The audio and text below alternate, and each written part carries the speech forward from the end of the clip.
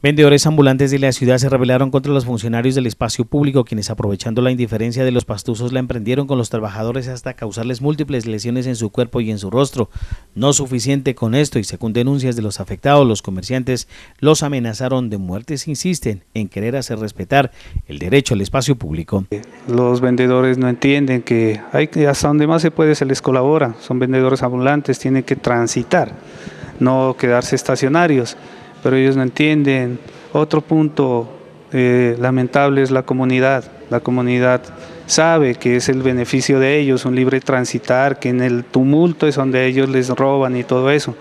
Pero la comunidad se ha convertido en un arma de doble filo la comunidad nos agrede también cuando estamos procediendo. Como si fuera poco, el paro de la rama judicial ha impedido que la valoración por medicina legal sea tenida en cuenta para adelantar una demanda penal en contra de las personas que causaron lesiones a los funcionarios de la alcaldía de Pasto. Entonces, como la justicia está en paro y no recibe demandas, lamentablemente ayer me tocó a mí, anoche me tocó a mí, seis y media de la tarde, hicimos todo lo pertinente, en este momento ya me encuentro un poco mejor, desinflamado, porque estaba exageradamente y los tratamientos y todo, por eso estoy mejor.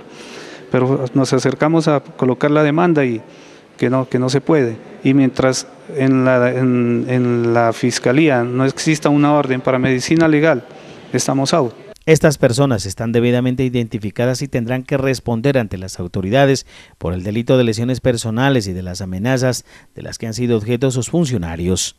Lo que pasa es que anteriormente no se colocaban las respectivas denuncias. Ahora nosotros estamos colocando la respectiva denuncia. Ya anoche estuve con la SIJIN haciendo el reconocimiento e igual hay testigos, hay gente de los mismos de ahí de la zona, porque eso fue en la calle eh, frente a la Morel, en la cacharrería Cali eh, están dispuestos a, declarar en la forma como fue violentado el funcionario.